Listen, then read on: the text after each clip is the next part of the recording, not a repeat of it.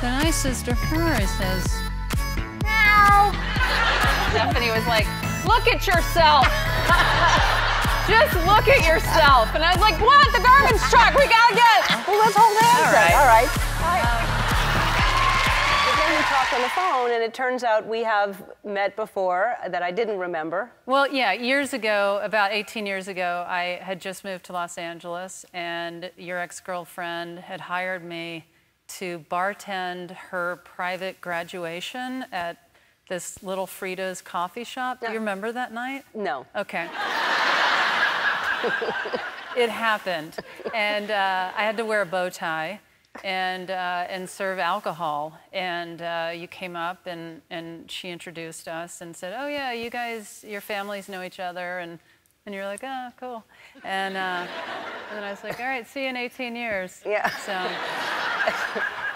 And you were right. It's Yeah. weird you'd say that. Yeah. But I'm so glad that I know you now. Yeah. And I could just drive by your house and honk and. well, I was gonna say, are we gonna ignore what happened this morning? no, we, you can talk about it.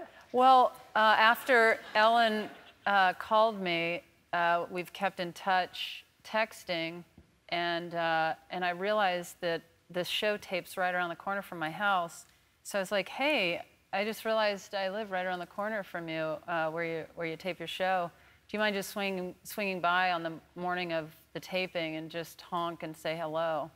And she said, I sure will. And so this morning, a honk for about a minute.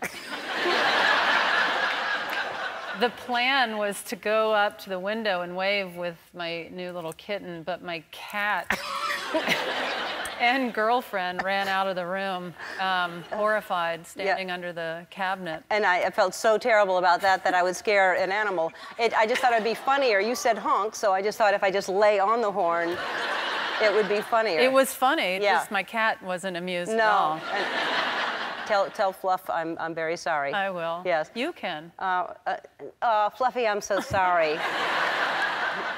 I'm so sorry, I don't Fluffy. even know if that's the camera. I know we have to go to break. Um, it is. It's the one that's lit right there. Oh, hi, Fluff. This first one is from Alyssa from Calabasas, California. My husband and I Here she is now, your host, Tig Notaro.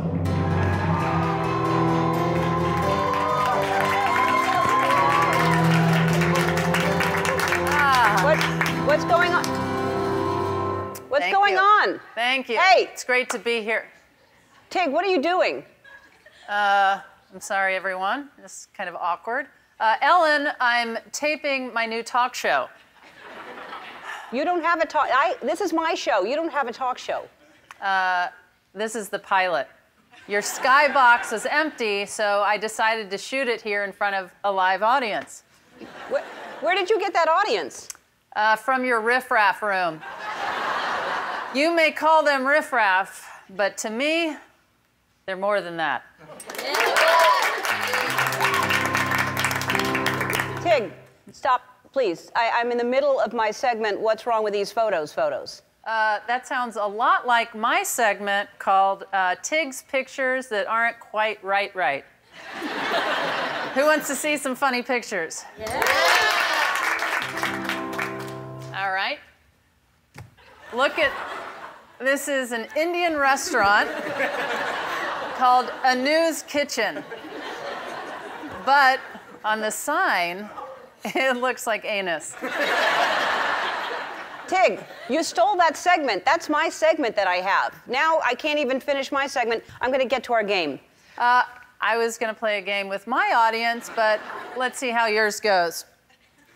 Okay, Tig, thanks for your support. Well, I can't think of a better birthday present than to have my hilarious friend perform stand up for us today. Please welcome back Tig Notaro. A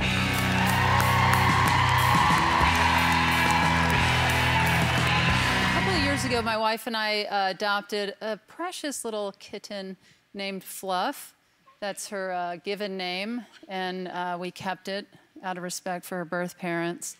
And um, I realized the other day in the living room that I had never meowed at her. And I was like, oh my God, I'm gonna totally meow at Fluff. And so I looked at her and I says to her, I says, meow. And she was like, No way. How is this just now coming up? She was stunned, just with her little kitten stunned face. And she says back to me, She says. Then I says to her, I says, Meow. We are going back and forth, having the time of our lives. And then Stephanie leans out of the kitchen and says, I wouldn't do that if I were you. Uh, what, what are you talking about?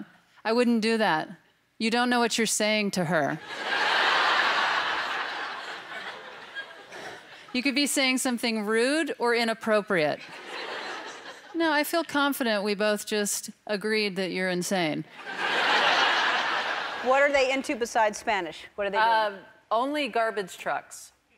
They are obsessed with garbage Real, trucks. gar- well, like when the garbage man comes down Oh the street? yes, and uh, trash cans and garbage. Their second birthday's coming up, and uh, I think we're gonna have a garbage themed party.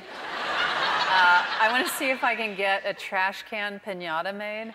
Um, and my stepfather was like, Tig, why don't you charter a garbage truck? He was like, you know, people charter trucks, or I mean, uh, ships and planes, you know, get a garbage truck to come over. Um, and then I was thinking of maybe even, we're friends with all the garbage uh, men in the neighborhood, and so um, I was thinking of paying one to just come in the back fence and just toss some garbage in the backyard. Just, you know, Max and Finn would lose their minds.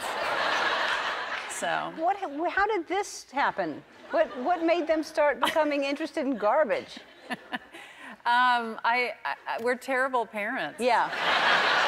Yeah. Yeah. So, um, at least they have an interest. Some people don't have interest. You, know? You've got a point. Yeah. You do it's, have a point. it's nice to have a passion. No yeah, it what is. It is. No matter what it is. All right, so Tig. And I have to say, I w- this is.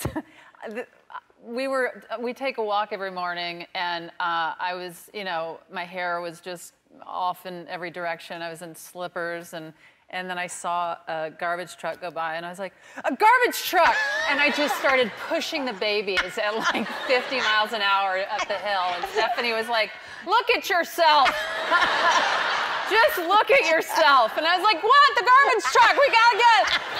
I mean, it's, you know, uh, it's now my passion. Yeah, well, so Max and Finn, let's get back to them. They're adorable, and they're they're almost three, and uh, I, I assume they sleep through the night at three. Um, they do now. There was this, and they did even when they were little. Um, and then there was this terrible phase that they went through. Um, I think I was working on your special when this was happening. They were getting, they thought three in the morning was, they were like, hmm, time to get up. And they would just start their day. And our window, oh, this is a different day. This, uh, this is when they woke us up with tambourines. And I knew we had one tambourine. I had no idea we had two. And I, I told, and I told Steph, How? What is wrong with you two that you allow that? I, I told Stephanie that it seemed like we were in a really hacky sitcom.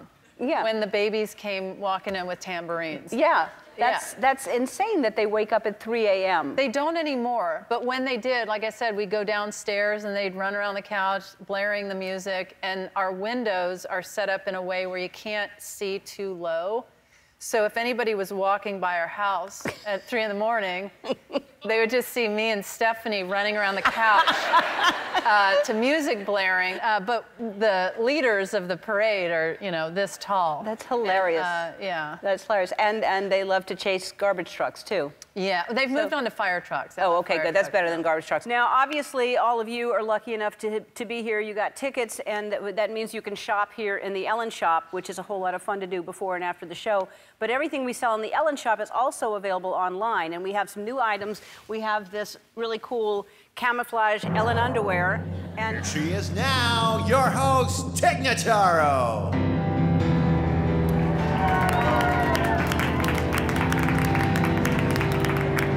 not this again. Hey, Tig, Tig, Thank you. I'm Tig Notaro. Welcome to the Tig Notaro Show. Tig, what are you doing? Uh, oh no, not this again. Uh, Ellen, your skybox was empty, so I'm using it to tape the second episode of my hit daily talk show. Hit Daily Talk Show. This is, you, you only did one. And it was a long time ago. Uh, yeah, we were on hiatus.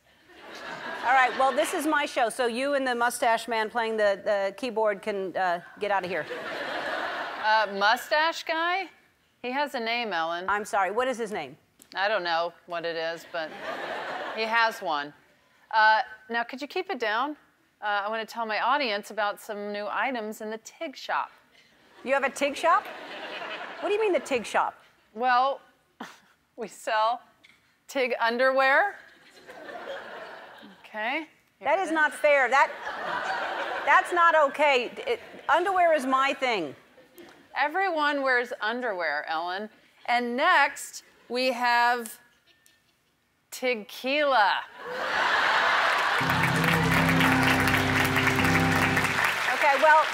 Yeah, that's that's fine and good, but you cannot. I don't think it's legal to sell uh, tequila to your or alcohol of any sort to your audience. Oh, I'm not selling it. I'm giving it away to my audience. Look under your seats. You get tequila. You get tequila. You get tequila. Yeah. Okay, that's wonderful. You're going to have to leave because uh, I need to bring Emma Stone out. Uh, uh, Emma, Emma. You get tequila. You get tequila. you have to stop because I have to bring Emma Thompson out. Not if I bring her out first. Ladies and gentlemen, please welcome Emma Thompson. That's not okay. I'm so excited to have you I'm here. so excited to be here. Hi, Mustache guy is a huge you? fan of yours. Oh, he's so lovely. Emma, Emma, what are you doing up there? Um, Who are you? Yeah, exactly. You know what? I'll tell you what Emma's doing. She's going to join me in one of my signature dances. Yes. Take us to break, mustache guy.